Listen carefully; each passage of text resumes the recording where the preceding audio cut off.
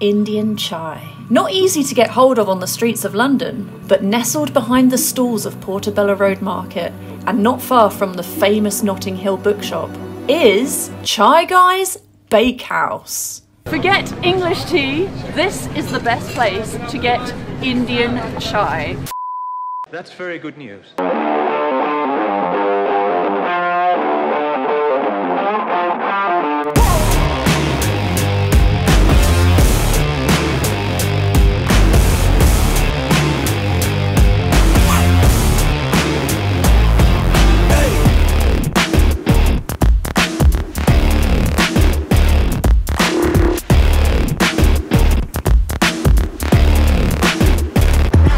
Is there anywhere else that does chai quite like them? In, in, in the UK?